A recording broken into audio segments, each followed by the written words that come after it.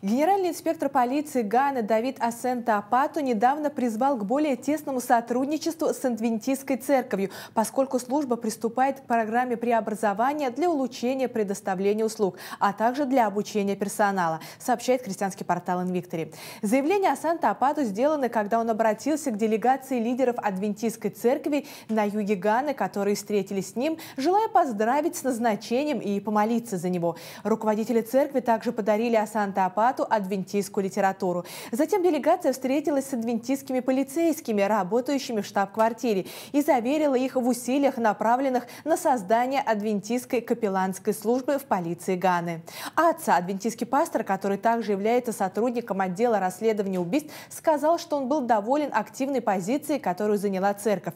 «Я рекомендую адвентистским лидерам выразить э, поддержку церкви за эту работу», — сказал он.